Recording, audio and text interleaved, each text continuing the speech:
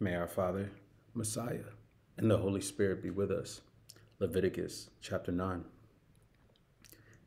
On the eighth day, Moses summoned Aaron and his sons and the elders of Israel.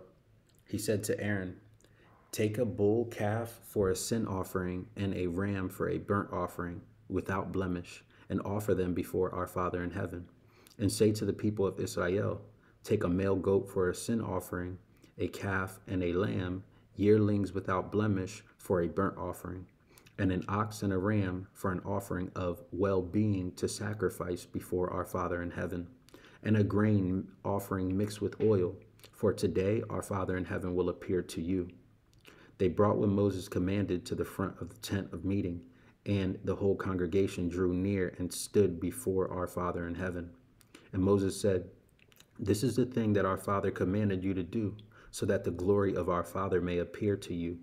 Then Moses said to Aaron, Draw near to the altar and sacrifice your sin offering and your burnt offering, and make atonement for yourself and for the people, and sacrifice the offering of the people, and make atonement for them, as our Father in heaven had commanded. Aaron drew near to the altar and slaughtered the calf of the sin offering, which was for himself. The sons of Aaron presented the blood to him, and he dipped his finger in the blood and put it on the horns of the altar. And the rest of the blood he poured out at the base of the altar. But the fat, the kidneys, and the appendage of the liver from the sin offering he turned into smoke on the altar, as our father commanded Moses, and the flesh and the skin he burned with fire outside the camp. Then he slaughtered the burnt offering. Aaron's sons brought him the blood, and he dashed it against all the sides of the altar. And they brought him the burnt offering piece by piece, and the head, which he turned into smoke on the altar. He washed the entrails and the legs and the burnt offering, turned them into smoke on the altar. Next, he presented the people's offering. He took the goat of the sin offering that was for the people and slaughtered it and presented it as a sin offering like the first one. He presented the burnt offering and sacrificed it according to regulation. He presented the grain offering, and, taking a handful of it, he turned it into smoke on the altar in addition to the burnt offering of the morning. He slaughtered the ox and the ram as a sacrifice of well being for the people. Aaron's sons brought him the blood, which he dashed against all sides of the altar, and the fat of the ox and of the ram, the broad tail, the fat that covers the entrails, the two kidneys, and the fat on them, and the appendage of the liver. They first laid the fat on the breast, and the fat was turned into smoke on the altar. And the breast and the right thigh Aaron raised as an elevation offering before our Father, as Moses had commanded.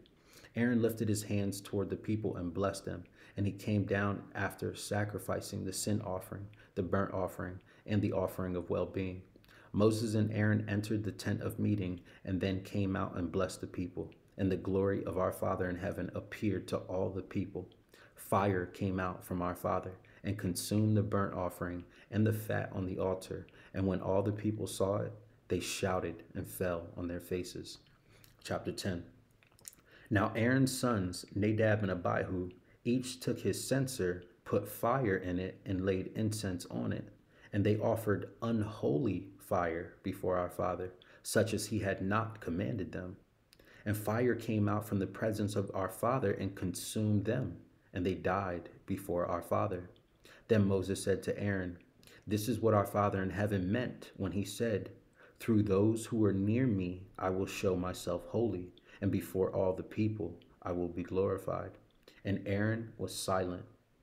Moses summoned Mishael and Elzaphan, sons of Uzziel, the uncle of Aaron, and said to them, Come forward and carry your kinsmen away from the front of the sanctuary to a place outside the camp. They came forward and carried them by their tunics out of the camp, as Moses had ordered. And Moses said to Aaron and to his sons Eleazar and Ithamar, Do not dishevel your hair, and do not tear your vestments, or you will die, and wrath will strike all the congregation. But your kindred, the whole house of Israel, may mourn the burning that our father has sent. You shall not go outside the entrance of the tent of meeting, or you will die, for the anointing oil of our Father is on you. And they did as Moses had ordered. And our Father in heaven spoke to Aaron Drink no wine or strong drink, neither you nor your sons, when you enter the tent of meeting, that you may not die. It is a statute forever throughout your generations. You are to di- you are to distinguish between the holy and the common, and between the unclean and the clean. And you are to teach the people of Israel all the statutes that your Father in heaven has spoken to them through Moses. Moses spoke to Aaron and to his remaining sons, Eleazar and Ithamar Take the grain offering that is left from our father's offerings by fire, and eat it unleavened beside the altar, for it is most holy. You shall eat it in a holy place, because it is your due and your son's due. From the offerings by fire to our Father in heaven, for so I am commanded. But the breast that is elevated and the thigh that is raised, you and your sons and your daughters as well may eat it in any clean place for they have been assigned to you and your children from the sacrifices of the offerings of well beings of the people of Israel. The thigh that is raised and the breast that is elevated they shall bring, together with the offerings by fire of the fat, to raise for an elevation offering before your Father in heaven. They are to be your due and that of your children forever, as our Father has commanded. Then Moses made inquiry about the goat of the sin offering and it had already been burned. He was angry with Eleazar and Ithamar, Aaron's remaining sons, and said, Why did you not eat the sin offering in the sacred area? For it is most holy, and our Father in heaven has given it to you that you may remove the guilt of the congregation to make atonement on their behalf before our Father. Its blood was not brought into the inner part of the sanctuary. You should certainly have eaten it in the sanctuary as I commanded. And Aaron spoke to Moses See, today they offered their sin offering and their burnt offering before our Father in heaven. And yet such things as these have befallen me. If I had eaten the sin offering today, would it have been agreeable to our Father in heaven? And when Moses heard that, he agreed.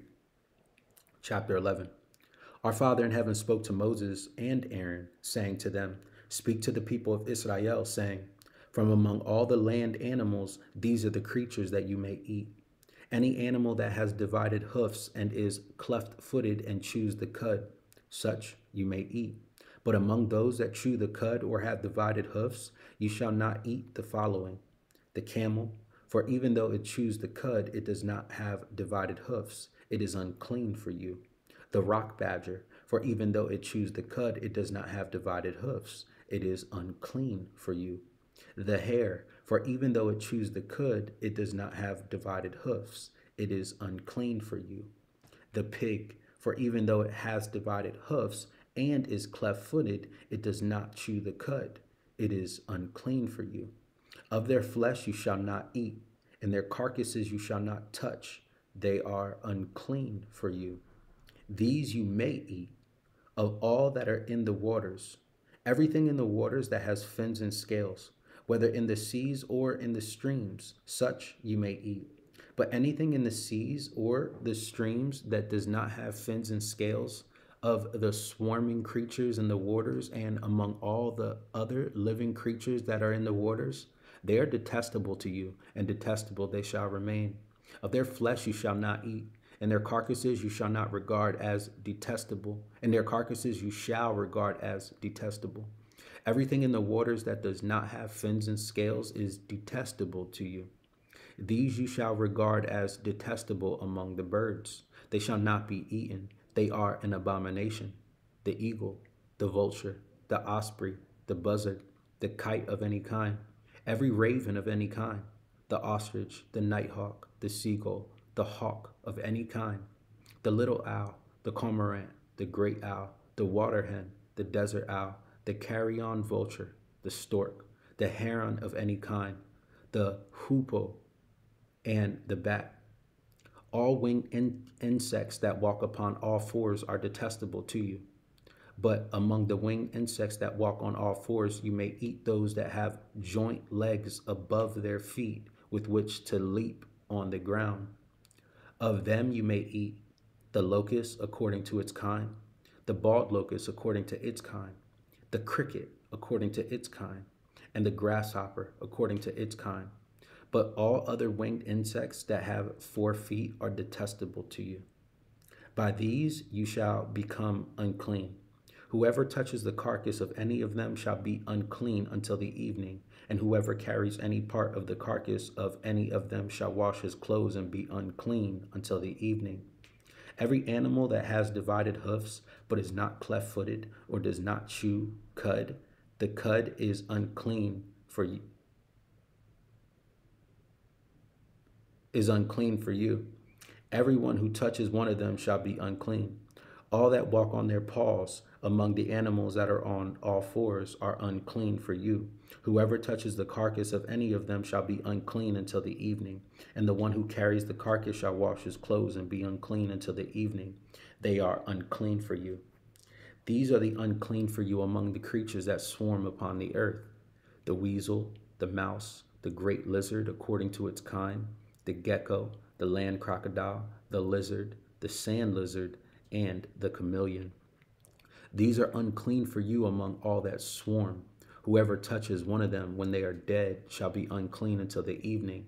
And anything upon which any of them falls when they are dead shall be unclean, whether an article of wood or cloth or skin or sacking, any particle that is used for any purpose.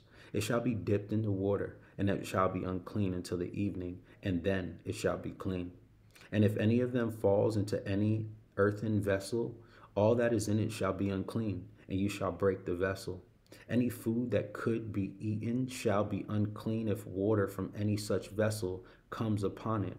And any liquid that could be drunk shall be unclean if it was in any such vessel.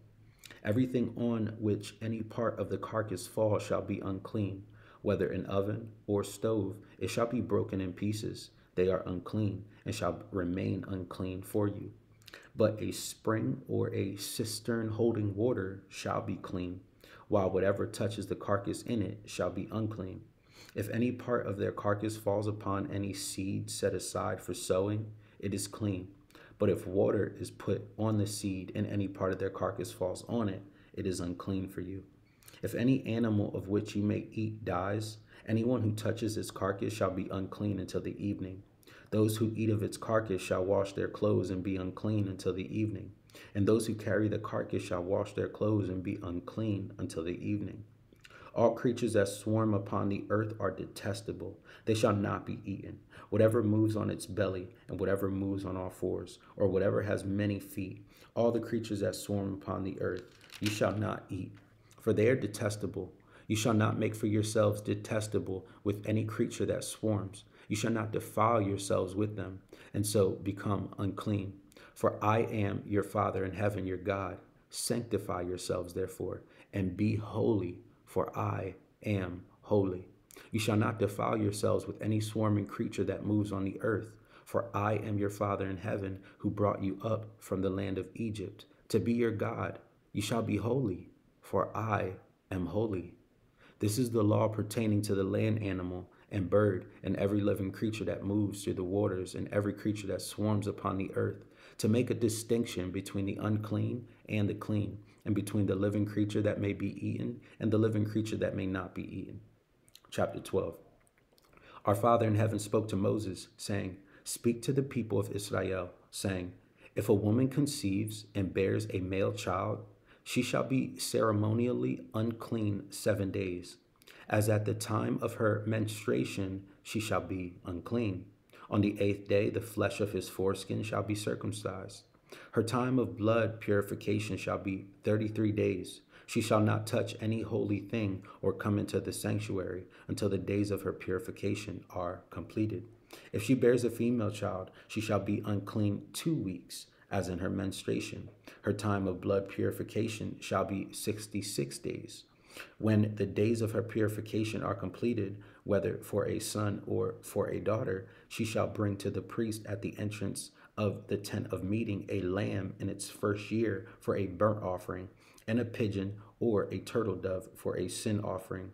He shall offer it before our Father and make atonement on her behalf. Then she shall be clean from her flow of blood. This is the law for her who bears a child, male or female.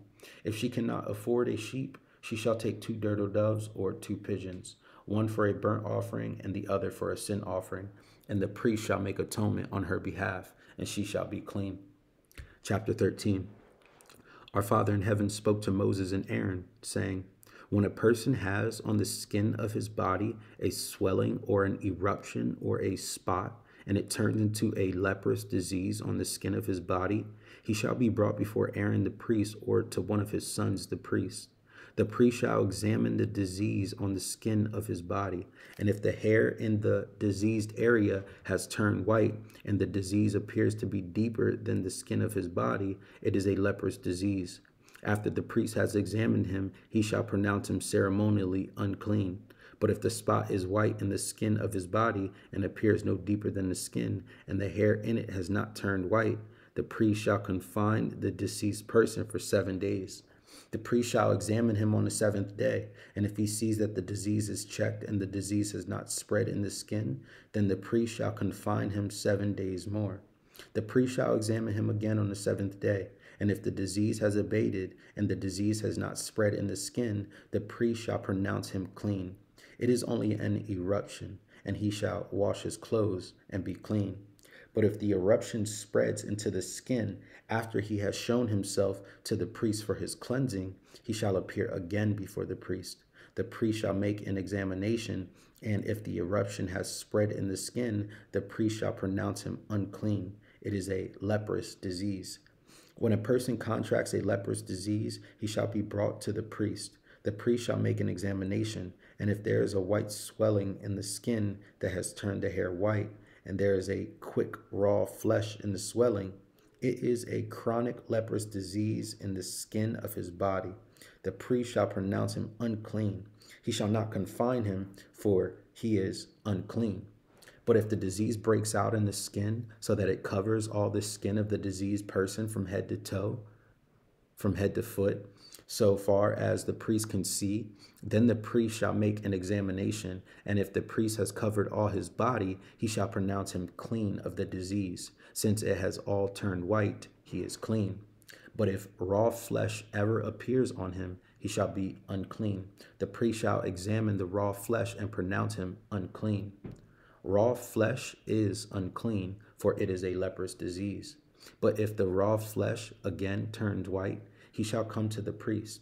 The priest shall examine him, and if the disease has turned white, the priest shall pronounce the diseased person clean. He is clean. When there is on the skin of one's body a boil that is healed, and in the place of the boil there appears a white swelling or a reddish white spot, it shall be shown to the priest.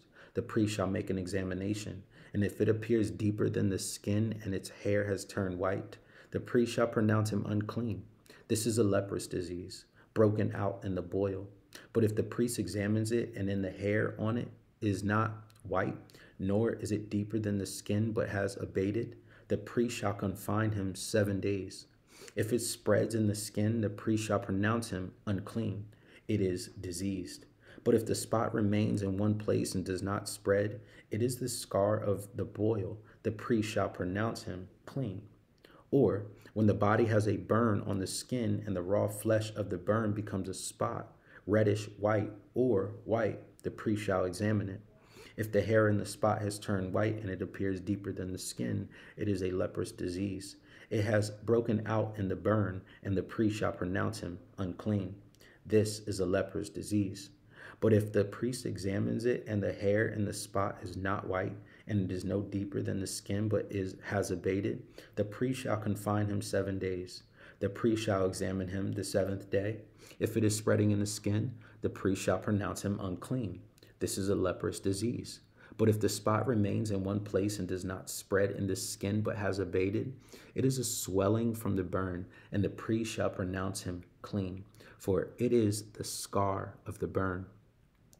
When a man or woman has a disease on the head or in the beard, and the priest shall, exa- the priest shall examine the disease.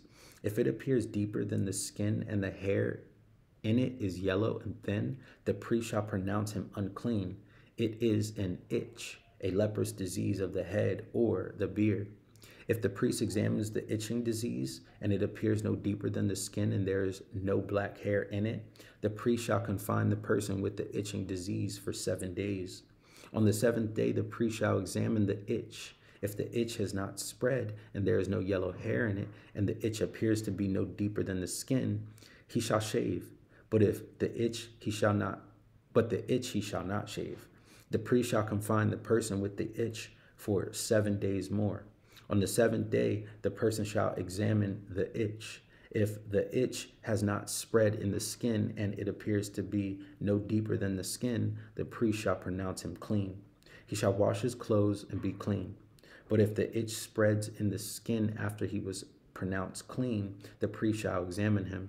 If the itch has spread in the skin, the priest need not seek for the yellow hair. He is unclean. But if in his eyes the itch is checked and black hair has grown in it, the itch is healed he is clean, and the priest shall pronounce him clean. When a man or a woman has spots on the skin of the body, white spots, the priest shall make an examination. And if spots on the skin of the body are of a dull white, it is a rash that has broken out on the skin. He is clean. If anyone loses the hair from his head, he is bald, but he is clean. If he loses the hair from his forehead and temples, he has baldness of the forehead, but he is clean. But if there is on the bald head or the bald forehead a reddish white disease spot, it is a leprous disease breaking out on his bald head or his bald forehead. The priest shall examine him. If the disease swelling is reddish white on his bald head or on his bald forehead, which resembles a leprous disease in the skin of the body, he is leprous, he is unclean. The priest shall pronounce him unclean. The disease is on his head. The person who has the leprous disease shall wear torn clothes and let the hair of his head be disheveled. And he shall cover his upper lip and cry out, Unclean, unclean. He shall remain unclean as long as he has the disease. He is unclean. He shall live alone. His dwelling shall be outside the camp.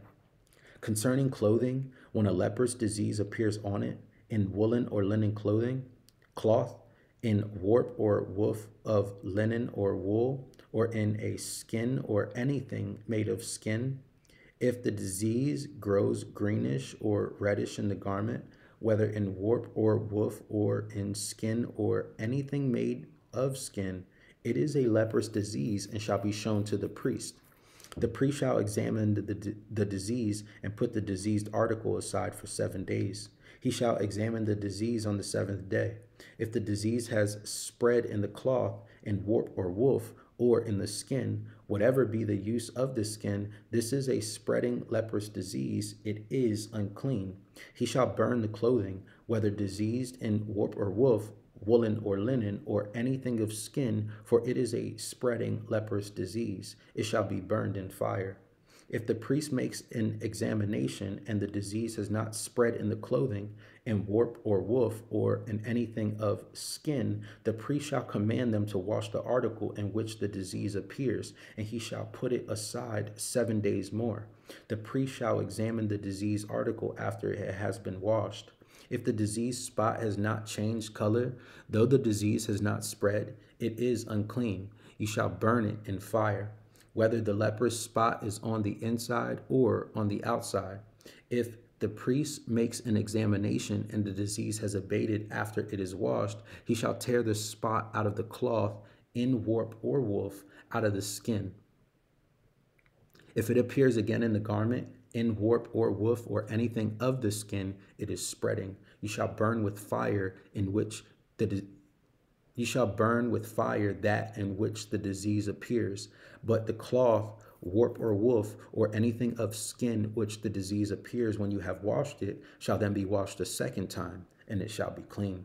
This is the ritual for a leprous disease in a cloth or of wool or linen, either in warp or woof, or anything of skin to decide whether it is clean or unclean. Father willing, we will continue with Leviticus chapter 14. May our Father, Messiah, and the Holy Spirit be with us. Repent. The kingdom of heaven is near. Peace.